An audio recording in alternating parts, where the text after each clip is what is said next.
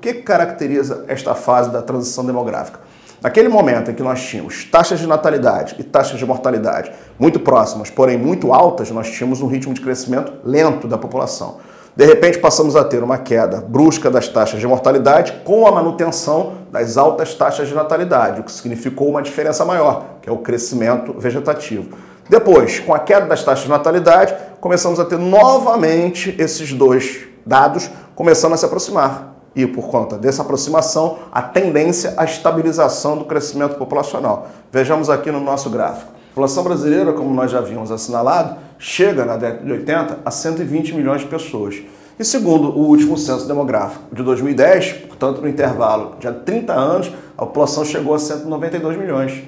Dá para perceber que no período anterior, num espaço de tempo um pouco menor, de 30 anos, nós falamos, a população brasileira aumentou 70 milhões de habitantes. E nesse espaço de apenas 30 anos, a população aumentou os mesmos 70 milhões.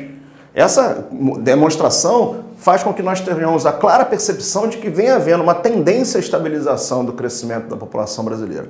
Fase essa que nós chamamos, portanto, de transição demográfica. E por que essa expressão transição? Porque daqui nós não sabemos o que vai acontecer.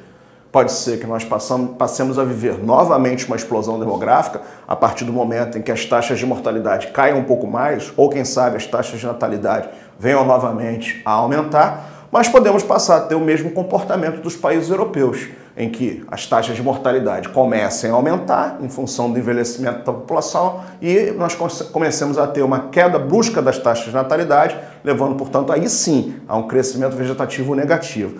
É bom a gente assinalar que você tem que tomar um pouco de cuidado com essa avaliação de crescimento vegetativo na sua prova.